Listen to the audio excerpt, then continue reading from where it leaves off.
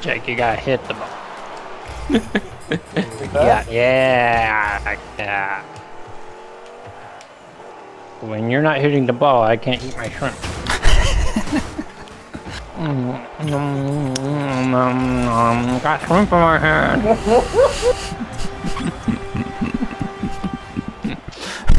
Just listening to the goalie eat shrimp.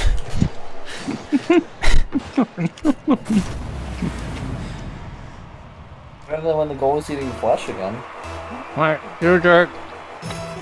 Hold on, it's gonna be always be you, because goalie's got food in it. Jake, what'd you do? Jake, it was a straight line. it was literally a straight line.